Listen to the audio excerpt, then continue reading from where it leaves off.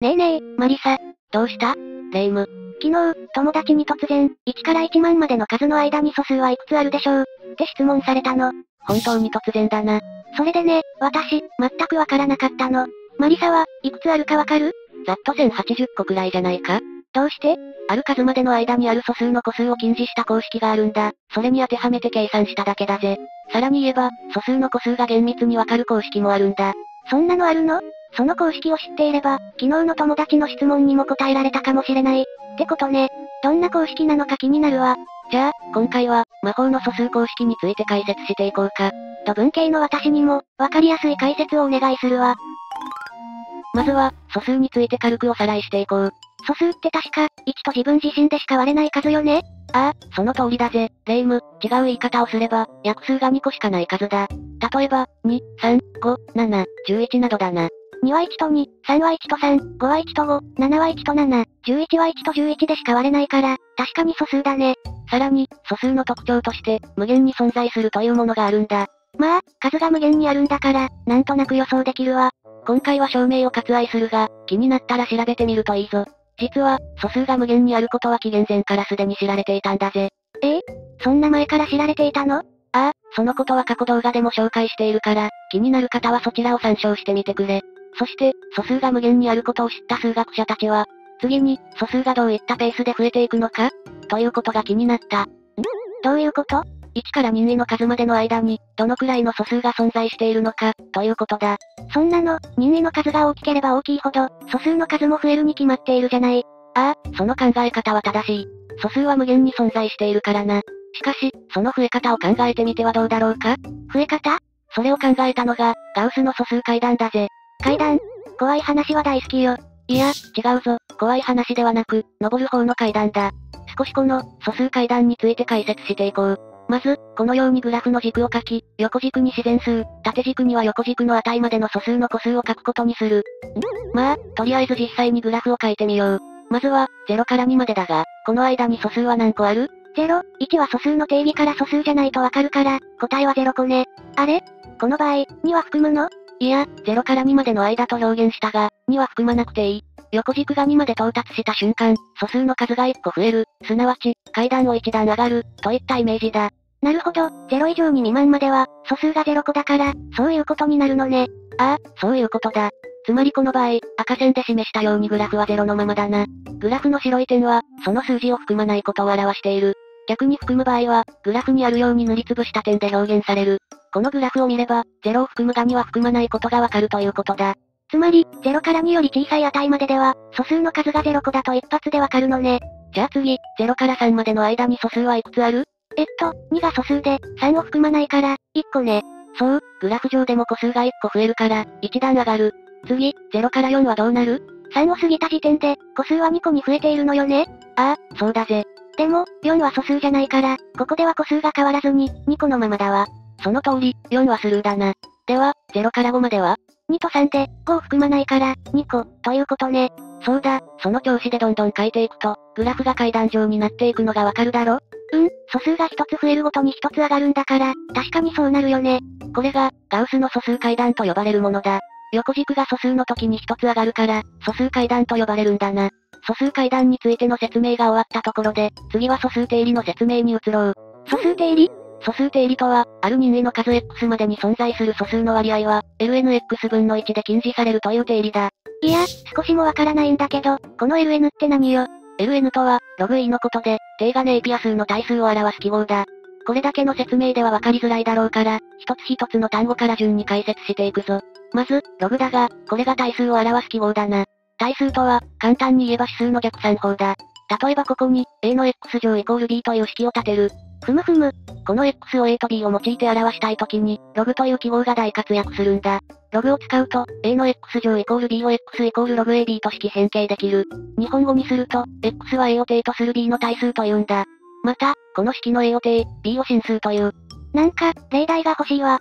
ならば、2の3乗イコール8という式を考えてみよう。この式は、対数の記号ログを使って、このように変形できる。この場合、式を見れば、2を定とする8の対数は3だとわかる。そして2が定、8が真数だ。他には、3を定とする81の対数は4だし、7を定とする49分の1の対数はマイナス2だ。なんか、理解しづらいわね。もともと、対数は指数と違って生活との馴染みが少ないから、わかりづらいのは仕方ないことだな。まあ、今回の話ではここを理解できなくても大丈夫だと思うぞ。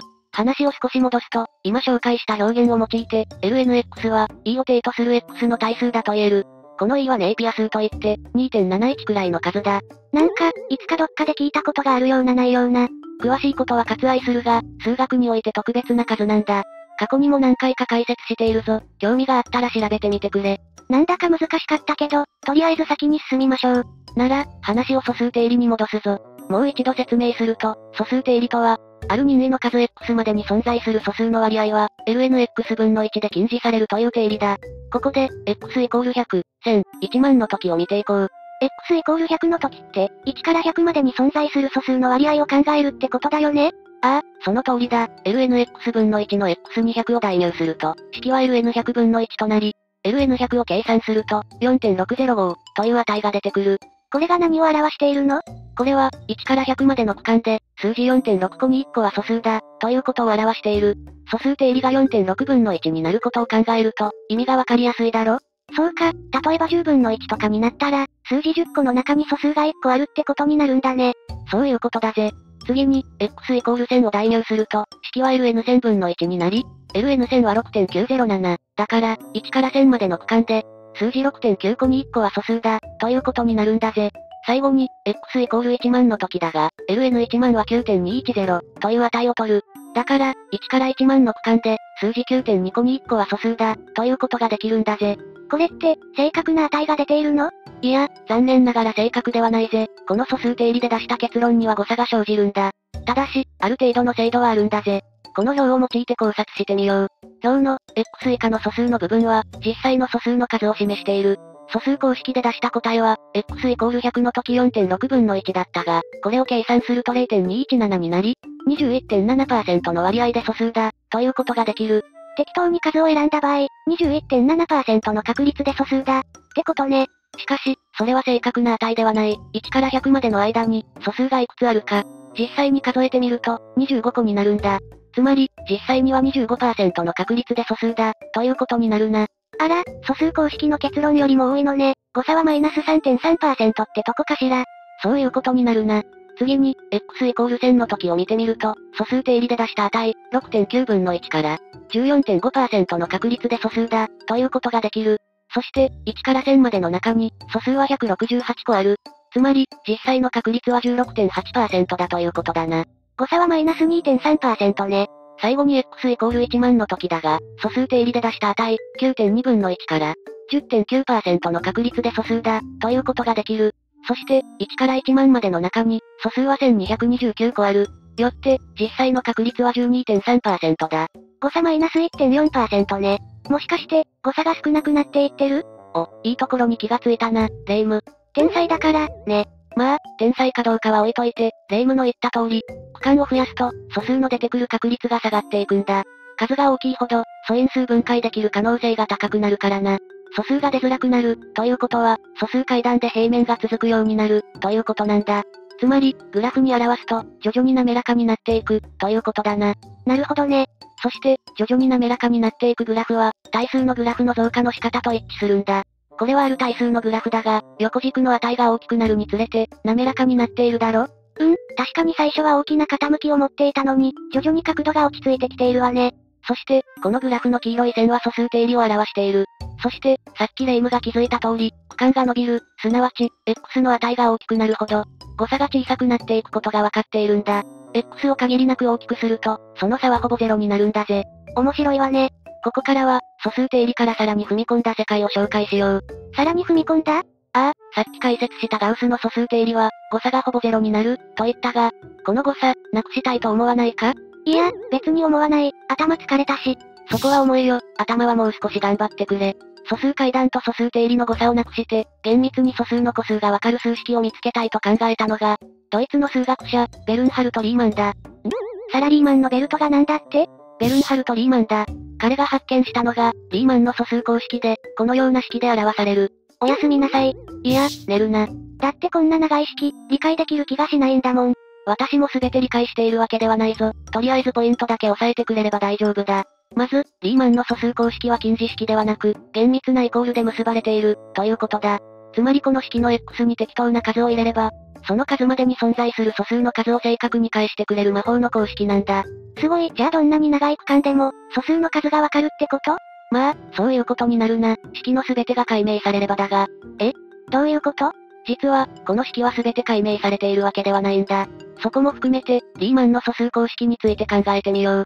この公式の鍵を握っているのが、ローの記号を使っているこの部分だ。これは何なの？